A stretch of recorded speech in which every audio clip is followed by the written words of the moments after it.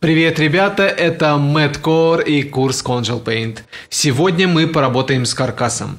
Но во время работы мы соединим реальный объект и ваше воображение. Ваше задание – нарисовать объект из реального мира. Но затем вам нужно будет добавить вымышленные детали к этому объекту. Это отличный способ начать мыслить в трех измерениях.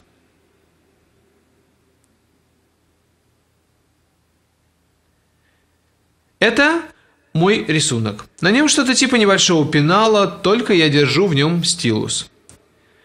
Он напоминает цилиндр, но вот верхняя часть довольно интересная. Итак, я создам новый слой и начну создавать случайные наброски и вымышленные детали.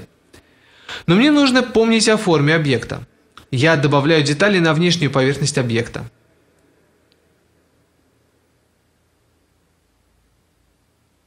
Я могу скопировать эти линии и вывести их за пределы формы. Теперь объект напоминает небольшой кувшин. Но чтобы еще сильнее усилить образ фантастического кувшина, я дорисую ручку.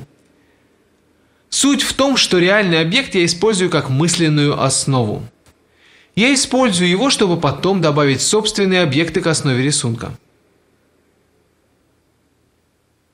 Вы тоже можете добавлять любые удобные детали и в конце концов придете к тому, что замаскируете оригинальный рисунок.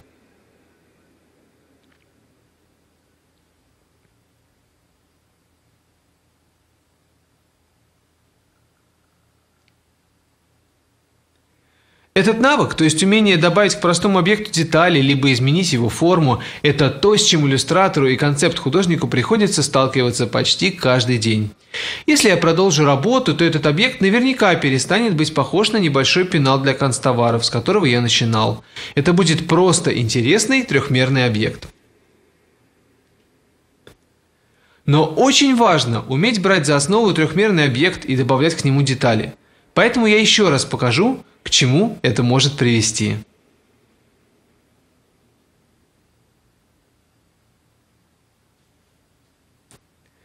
Суть этого упражнения не в том, чтобы создать красивый рисунок или вообще что-то имеет смысл с дизайнерской точки зрения, а в том, чтобы научиться мыслить в трех измерениях. Важно научиться представлять форму, стать мысленным скульптором.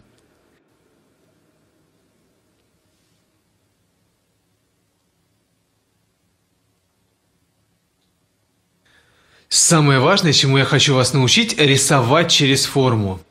Так, как именно так вы сможете добиться правдоподобного объема. Как только вы приступите ко второй части задания, вы начнете работать со своим воображением. Поэтому именно от вас зависит, какая форма будет представлена в пространстве. Так как реальный объект для вас – это хорошая основа и перспектива для дальнейшего развития. Но как только вы начнете добавлять детали, все зависит лишь от вашего воображения – Конечно, ваш объект отличается от моего, поэтому результат у вас будет совсем другой. И даже если бы мы начали с одного и того же объекта, наши конечные результаты кардинально бы отличались друг от друга, так как помните, все решает воображение и замысел. Желаю вам удачи, экспериментируйте, спасибо за внимание.